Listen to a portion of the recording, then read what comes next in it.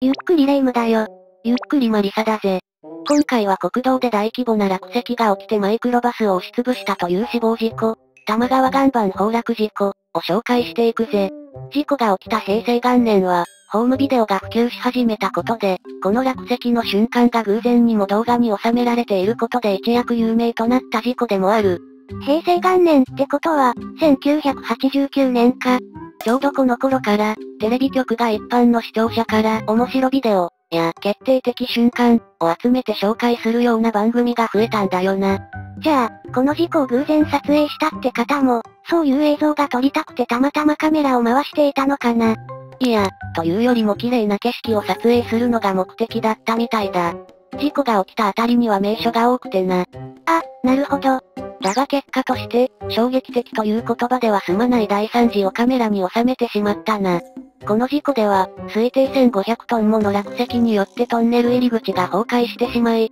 たまたまそこを通っていたバスも飲み込まれてしまうんだ。1500トンの落石。この玉川岩盤崩落事故は、日本道路史上でも類を見ないほどの大事故としても知られている。では早速、その事故に至る経緯から見ていくことにしよう。1989年、石川県金沢市から福井県南城郡南越前町へと通る国道305号線で、その事故は起きた。この場所は、東尋坊や古町門といった越前海岸付近の名物が見られる、北陸の代表的な観光道路でな。なんか聞いたことあるかも。前者は、東尋坊という名の悪いお坊さんを崖から海に突き落として殺したら、それから49日の間海が荒れ狂った、というエピソードに基づく名所だな。うわぁ。昔からの名所って、そういう恐ろしげな由来が平気であるよね。その東尋坊の無念が、とまでは言わないが、この辺りは事故発生件数も多いらしい。まあ単純に観光名所が多くて交通量が多いのが原因だろうが、現在でも福井県では交通事故抑止のために色々と苦労しているみたいだ。ふんふん。また、もう一方の古町門については、名前が付いたのは20世紀に入ってからだ。結構最近なんだね。1958年、当時の福井県知事が渡り鳥を呼ぶ門、という意味で名前を付けた、当時としては全国の国道で唯一の天然のトンネルだった。だが、1970年に、それまでの主要地方道が国道305号として格上げされ、さらに2002年3月に古町門トンネルが開通したことで、現在は普通の遊歩道になっているらしい。天然のトンネルってことは、巨大な岩石や地層などがもともとあって、それが長い年月をかけて変形し、下に大きな穴が開いて通れるようになっている状態ってことだな。アーチ状に見えることから、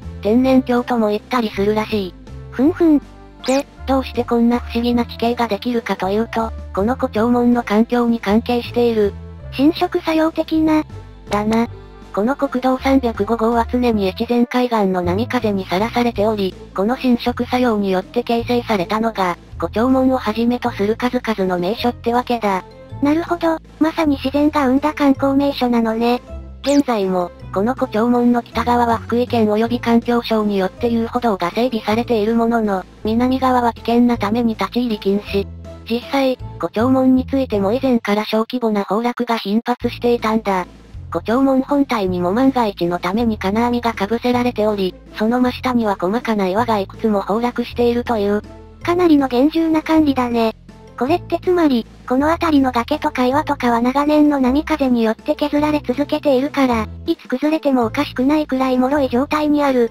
ってことにならない。そうだ、なかなか鋭いな。で、この1989年の7月16日午後3時半頃、国道305号の道路脇の崖で、高さ40メートルにもわたる大規模な岩盤崩落が発生したというわけだな。事故の原因としては、この少し前に局地的な雨が降ったことで地盤が緩んでしまい、長年の負荷も相まって決壊に至ったということだ。私たちの視点では突然の崩落だけど、自然の側からすると長年かけてようやく、って感じなんだね。この崩落によって崩れた岩の推定重量は1500トンで、これが崖を下って落石防止用の覆道を突き破ったという。ぼ、防止できてない。ちなみに覆道ってのは、こういう落石や雪崩、土砂崩れなどを防ぐために道路や線路に取り付けられる建造物だな。その見た目から、半トンネル、と言われたり、他にもロックシェッド、銅門とも言われたりするぜ。道路の片側が崖とか切り立った地面になっている時に、たまに見かけるやつだね。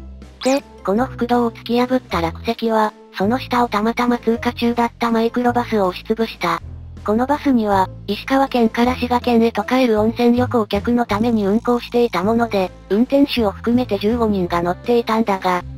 残念ながら、全員が帰らぬ人になってしまった。1500トンの落石に押しつぶされたとなるとね。事故の瞬間は、すぐ後ろを走っていた乗用車がたまたまホームビデオを撮影しており、動画として記録が残っている。何の前触れもなく、マイクロバスがあっという間に大量の岩歴の下敷きになるという映像は、お茶の間を大いに震え上がらせた。さて、もともと海沿いの崖ということもあって崩れやすい土地柄だった国道305号沿いだが、この事故の後に本格的な対策が必要ということになった。いつの時代も、どうしても事故が起きてから対策っていう後出しじゃんけんになるよね。まあこう言ってはなんだが、予算も無限じゃないからな。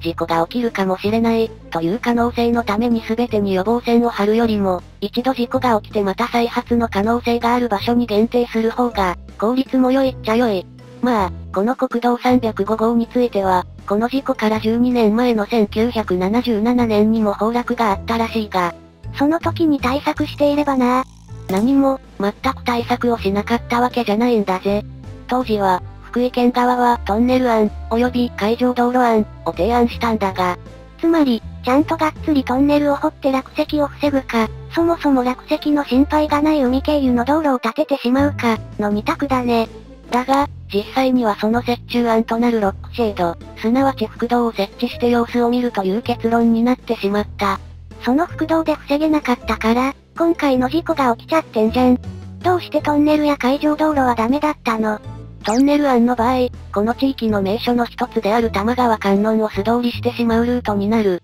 一方の海上道路については、水産資源への影響の懸念から、それぞれ反対の声が上がったんだ。あちらを立てればこちらが立たず、ってやつか。だが、結局はこの崩落事故によって、1992年に玉川トンネルが開通することになる。じゃあ、玉川観音は、現場で崩落が起きたことで、そもそも玉川観音を見られるルートは立ち入り禁止区間に指定された。このため、別の場所に人工のホラー穴を掘った上で、そこに移設したとさ。いやー、最初からそれでよかったんじゃないのかな？そう言えるのは、実際に事故が起きたと分かったからで、後出しじゃんけんみたいなもんだぜ。それもそっか。また、事故現場には1993年に慰霊碑が設置されることになった。現在でも旧道や、事故後に設置された仮設道路の橋脚が残っており、現場付近を訪れることは可能だが、崩落現場付近が物理的に危ないのはもちろんとして、玉川観音や東尋坊の周辺は地元じゃ有名な心霊スポットだそうだ。